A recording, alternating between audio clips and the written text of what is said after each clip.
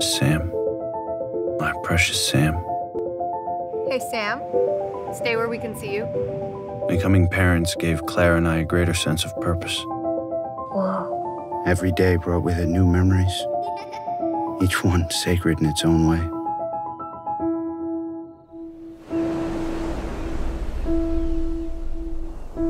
It doesn't feel real. I know exactly what you mean.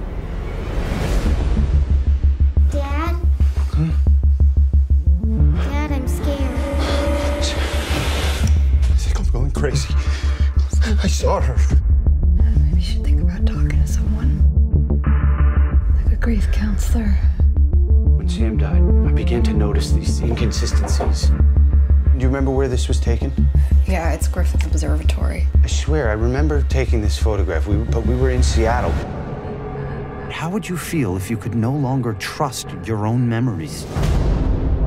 You remember the children's book when you were growing up about the family of bears? The Berenstein Bears. Berenstein. S T E I N. We've been hard to reach lately. I just, just started noticing some things, and Like what kind of things? We're living in parallel universes. can you picture the Monopoly Man? Yeah. What's on his face? Monocle. Apparently, it's never been the case. The Mandela effect. Either we're sliding between parallel realities, or like a simulation, and it's glitching out. Do you hear yourself right now? Maybe it's in my head, Claire, but what if it's not? Maybe none of this is real.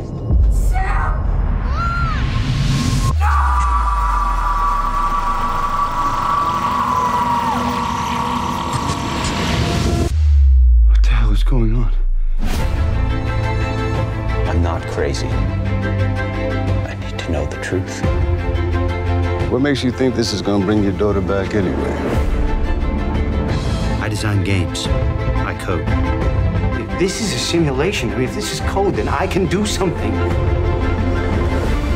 It's no small thing shutting the world down.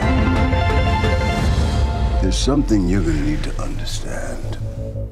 Ideas are dangerous things.